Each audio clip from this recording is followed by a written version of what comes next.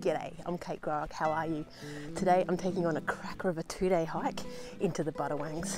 Um, I was so excited to get back in here. I've been watching the Morton National Park website and waiting for them to open these areas up again after the bushfires and this is this is one of my favourite hikes um, from the Wog Wog campground into Burrumbeet Brook um, and it visits some pretty amazing areas it goes um, past Corang Arch, which is an amazing natural rock arch, Corang Peak, which is a beautiful lookout. Um, we're also going to do the Cascades Trail. So on the Corang River, it's some pretty mad Jurassic Park kind of scenery. Well, it was last time I was here. Uh, I reckon I've done this hike about eight times before, but obviously I haven't done it since the fire, so it's, it's going to be a little bit sad, but also really interesting to get into this area and check out what it's like now that the fires have been through and yeah, definitely quite changed. Um, I've got three very special guests with me today. I've got Elsie, Jimmy, and Laura, and I'll introduce you to them in a little bit.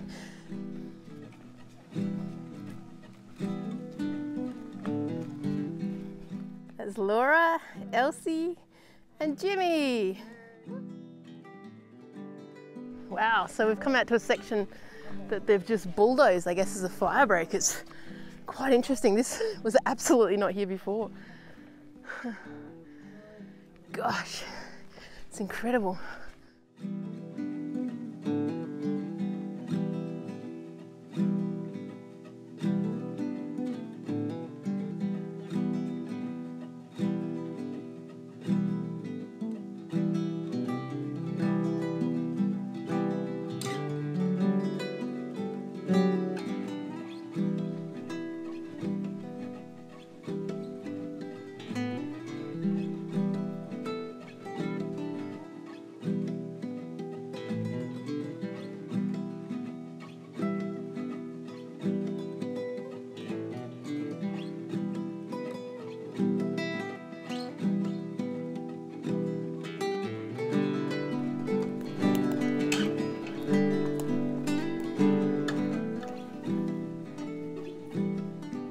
Yes, so we've made it to the turn uh, to the Cascades Trail, and geez, this area is so unrecognisable.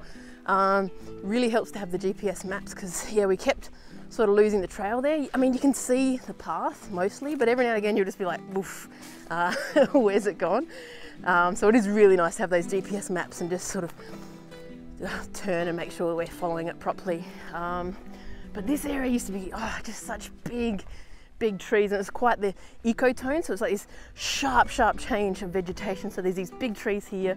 Then it goes down into that swampy area behind me um, and sort of there were no trees or shrubs and then there's sort of a different vegetation type over on the other hill. It's it's quite incredible to see it and I'll see if I can find some pics of what it used to look like. I'm also really excited about this area because part of it used to be a, um, an Aboriginal pathway. So it's pretty special to be following the footsteps um, of you know a culture that's been around for 60,000 years. It's just mind-boggling.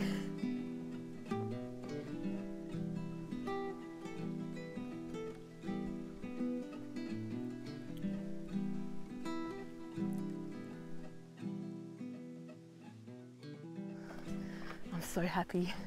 It's so nice to get out here and it's just it's just pretty special also to be in an area that, you know, like I was saying, I've hiked this several times before, and just the comparisons. I I love that about nature too. Like you know, while the bushfires are sad, it's so cool to have that comparison, and even just the change of season is so interesting out here.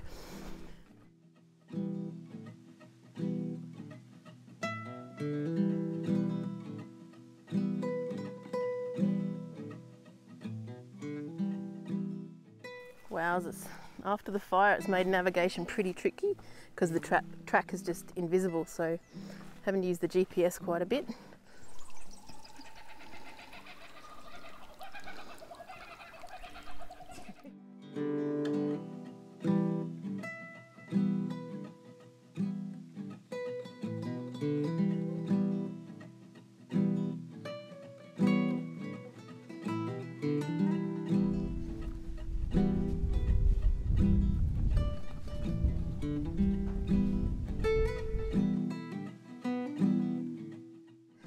Well, they've got the no trespassing signs up near the uh, Corang, that pool, the old camping area. So um, there was no indication that it was still up way further back until you actually get to their property boundary. Um, so I'm just sort of skirting around the edge of their property and then we're going to link back up with the normal trail. Um, it's pretty easy to do at the moment because of the bushfires. So um, I actually tried to do it once in the past, but the bush was just so thick that we we couldn't get through.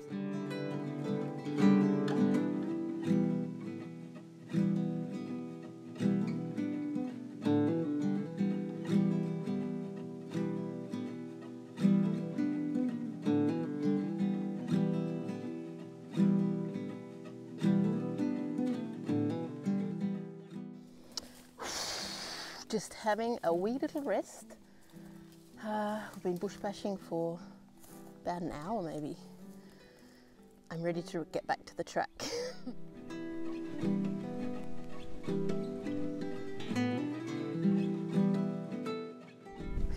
we are back on the track and I am happy for that. Uh, it, it, wasn't particularly horrible, it was just a bit of a head fuck. was just really slow going. Um, so pretty annoying and very, very ashy.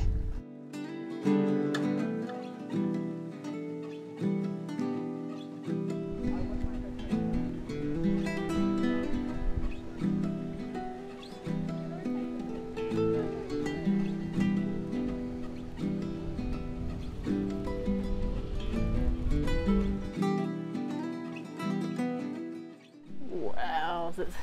Anyone who's been here before will just be shocked to see this. Man, this was like three foot, three meter high, thick, thick hakea. I mean, it's still beautiful, but wow, what a change. It's just almost unrecognizable.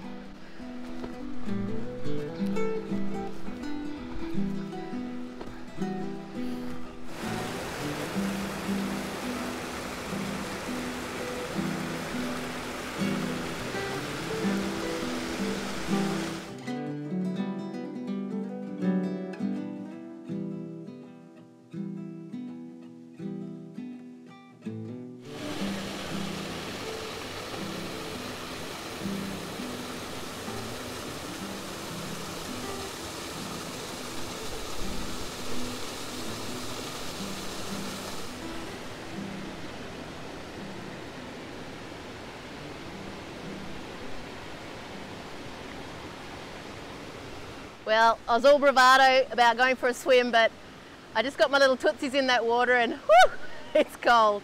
Um, so I think I might just, you know, wash the face or the little black muck off, um, wash the feet, and then uh, I think that's as much swimming as I'm going to get done today.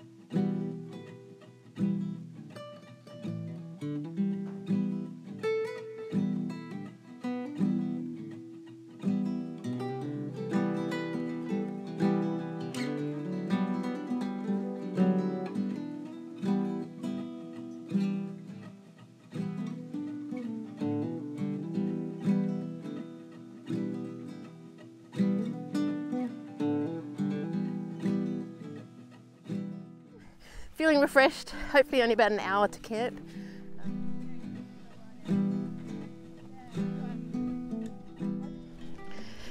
And look what we have beside me, some mildly unburnt vegetation.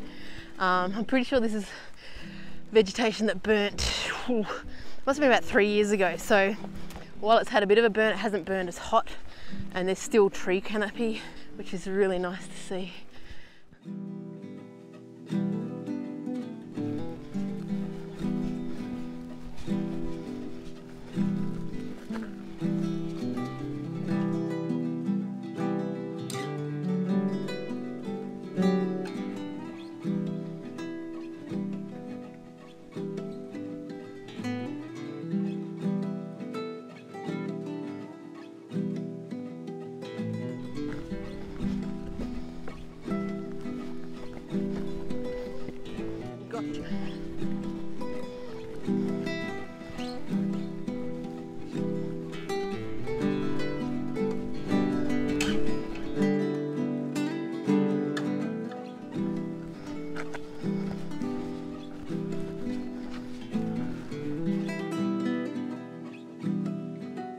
The old bridge is looking a little sad.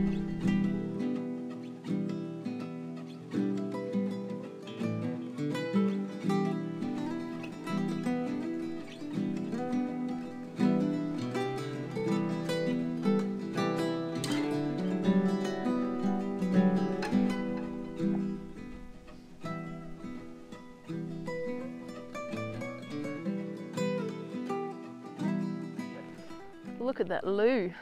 She got burnt in the fire. It's pretty crazy here actually. It's almost unrecognisable. I mean, I've been here so many times, but gosh. This whole rock face here used to be sort of yellows and light greys, a bit of red, but now it's just, look at it, it's black. Must be from up on the ridge. All the trees burnt and the ash just washed down the cliff.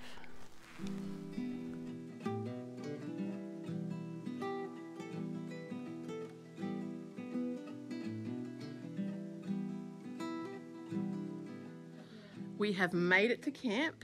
We have our cheese platter happening with Laura and Elsie. And if I can turn. Hello. Bad camera angle. Jimmy's got his tent there. Elsa and I here. Laura's tent's there. And I've got a beer.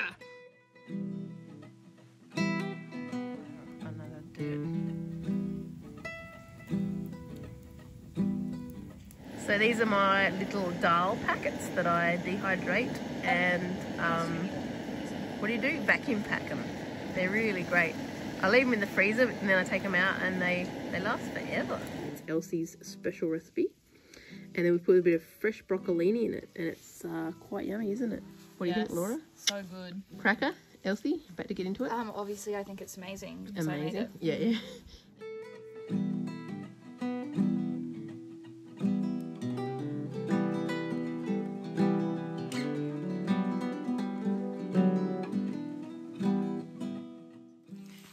Good morning. Uh, we got up early, Jimmy, Laura, and I, and we're going to go off and see if we can get a nice view from Yurnga Lookout.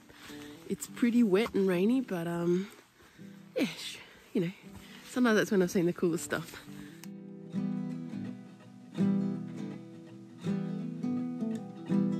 We made it to the lookout, and the view is spectacular. it's pretty cool. I wanted to show you this though. This is a spot down here between these two sort of conglomerate blobs. That's where I um, had my first, my first ever solo camp. it was pretty cool. I strung up the hammock, sort of um, hanging off a couple of the conglomerate rocks, and just sat there. And then I came up here and watched the sunrise. And um, out there is um, Mount Cole, Mount Owen, and the castle. It was pretty amazing watching the sunrise over them. So we've just uh, come down a cute little ramp here and um, found this like tiny little cave here, but it's just under Yurnga Lookout. It's pretty cool. I'll try and get a video of the little ramp we came down. It's just this little slot. It's quite quite gentle and pretty. But what an incredible little world down here. So this is the cool uh, slot we found.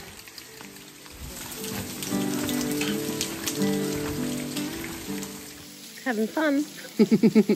Drowned rats. This is what I think is a king fern. It's pretty incredible. It's just got different leaves and it sort of sprouts from the base. Guys, it's got its jingle jangles.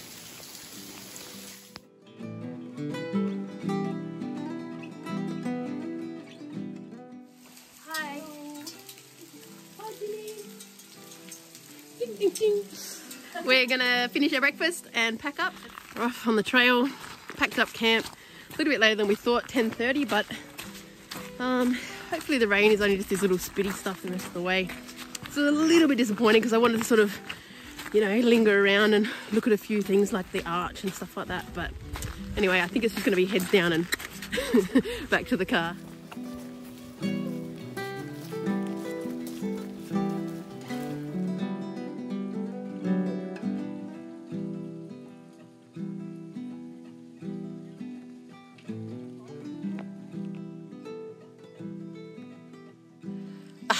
Made it to Corang Arch. I'm currently on top of the arch. Unfortunately, the views are a little bit foggy still, but there's Jimmy and Laura and Elsie. and there's that crazy overhang with all the fallen.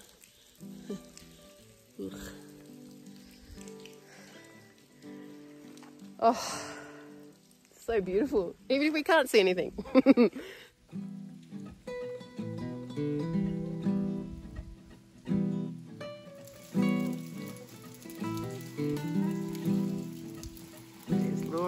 the arch again.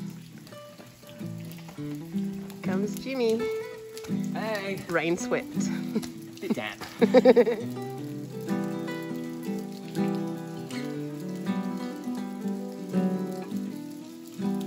you get me lemon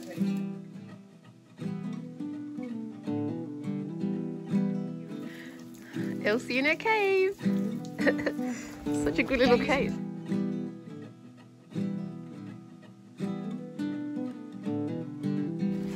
Check out this duck board, it's all melted. Ooh.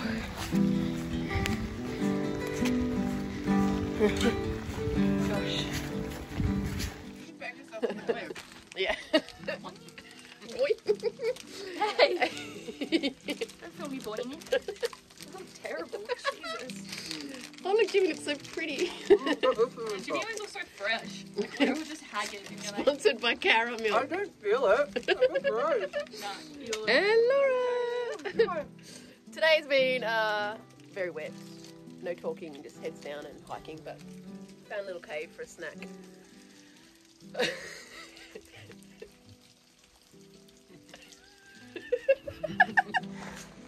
All right, we're pounding out, I think, the last five Ks now. It's been very wet and soggy and pretty quiet and just heads down hiking. But it is kind of cool to get the typical Budawangs fogged in, wet, soppy, um, long trudge out. Will certainly make the shower all the more worth it.